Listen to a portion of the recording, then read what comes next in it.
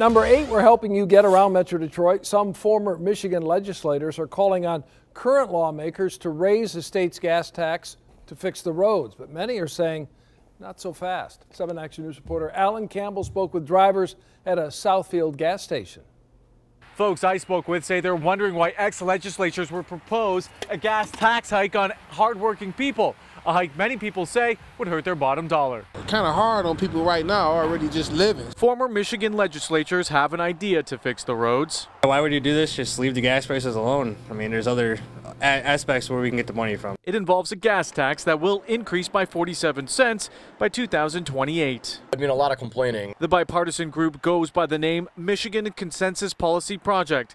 They say the proposed tax hike would take in nearly $3 billion annually. That's just an excuse. They, just, they throw, oh, the roads or the schools, we need this, or we have to fix this, and then they'll at tax increase, all it does is give them a raise. We tried reaching out to ex-legislators who are proposing this tax hike but haven't heard back. We also tried talking with Governor Gretchen Whitmer, but we're told she won't be talking about it until it's presented in March. It would include an increase of 7 cents per gallon the first year, then goes up 5 cents every year after until it reaches 47 cents.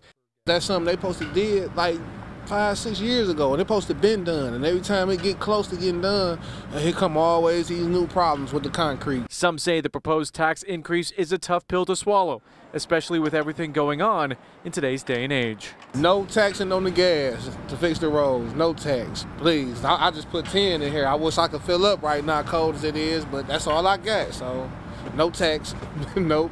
According to a report in Statista, Michigan ranks sixth nationally in gas tax for 2018. One thing many people can agree on, yes, the roads need repaired, but not at an overwhelmingly expense to Michiganders. Reporting in Southfield, I'm Alan Campbell, 7 Action News.